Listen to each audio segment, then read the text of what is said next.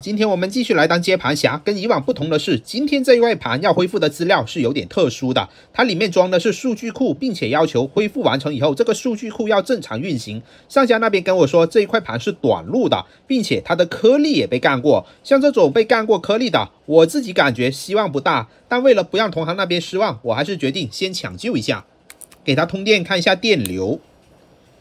我操！这个盘上电是直接短路的，还可以听到这个电流的啸叫声。刚才我仔细看了一眼，这个颗粒它居然被焊到界限以外的地方了。这个是 BJ 幺三二封装的颗粒，如果它是正常倒车入库的情况下，我们应该可以看到上下两排焊点的，而这里只看到了一排。就拿下面这一个没有焊接颗粒的焊盘来大致说明一下吧。上面这一根线是 BJ 幺五二的停车位，而下面这一根线是 BJ 幺三二的。从右边这里看，颗粒也是明显没有接触好的。我们拿个放大镜来观察一下，我不知道大家有没有看到，这个对焦可能有点模糊。我估计上上家的判断是颗粒挂了，然后就随便把这两个颗粒贴了回去。当然，这只是我的猜测。接下来我们就要把停错位置的这两台车子给它挪开。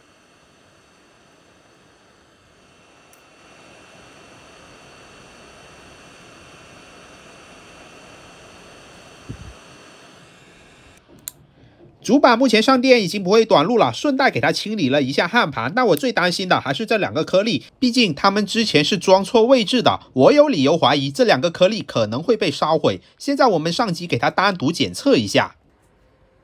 好的，第一片颗粒容量检测没有问题，换下一片。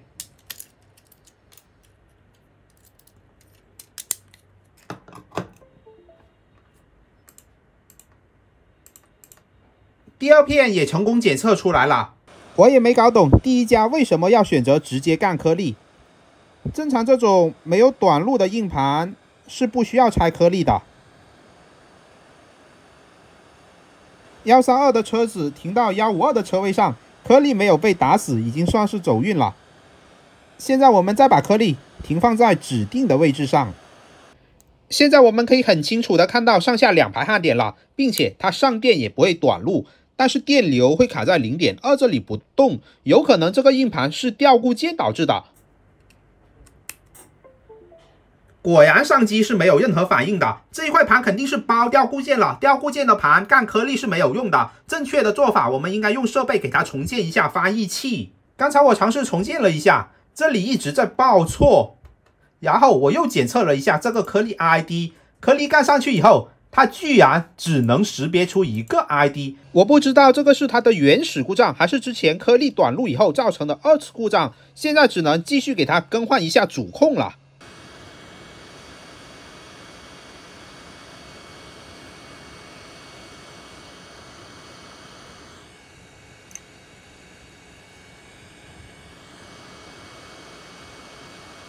主控我已经给它重新干上去了，这个是刚才检测的结果。我们来重新联机，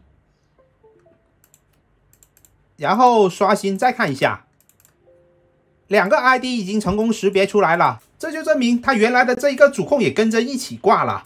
翻译器我刚才已经给它创建好了，这个是系统分区，很显然里面是少了文件的，因为我在展开这个目录的时候，上面就报了一堆错误。数据库能不能保得住，还得把整个硬盘的数据给它读出来，逐步分析。第一块盘的数据正在读取，我们继续来看下一个二修盘。可能有的网友会有疑问，你这边咋这么多二修盘？这还得感谢大家以及那些我认识或者是不认识的同行赏饭吃。如果能在当地解决的硬盘，就不能称作是二修或者三修了。硬盘的主控方案是九零八二的主控，然后这个颗粒肯定是黑片啦。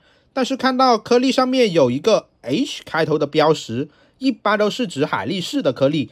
颗粒还有主控都是被加焊过的，我们先上机检测一下。我这边短接上机是没有任何反应的。我看了一下，这个电流一上来就直接冲到零点四安了，硬盘肯定是有短路的。我们再给它做一下全身体检，看看有没有可以捡漏的地方。发烫最严重的是左下角，左下角这里是一个电源转换芯片。如果后级有短路，电源转换芯片发烫也是正常的。我们拿一个主板把它给挡住。发烫第二严重的是主控这一边，这个主控。另外，好像颗粒也在发烫啊。这四个颗粒全部都是红彤彤的，这还怎么修嘛？我们先把这个主控给它摘下来，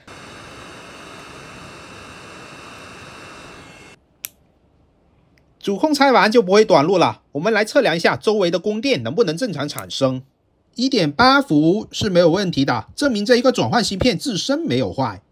三点三伏也正常，一点二伏也有，看一下后面，后面这里应该没有了。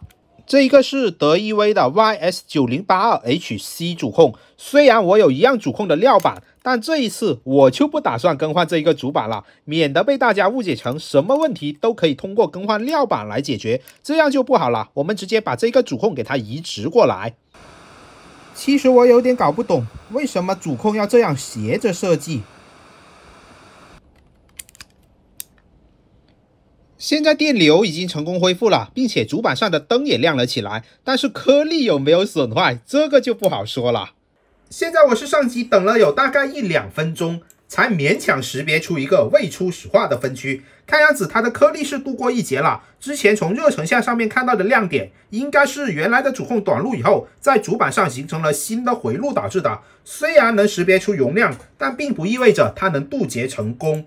因为它这一个颗粒是被焊接过一次的，而且还是海力士，数据能不能存活？我们用这个 WinTest 来检测一下。前面是空白的，往下拉，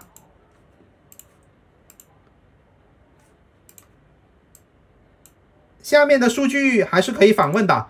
不过拉一会，这里的硬盘占用率就到了百分百。我们直接给它用设备镜像一下吧。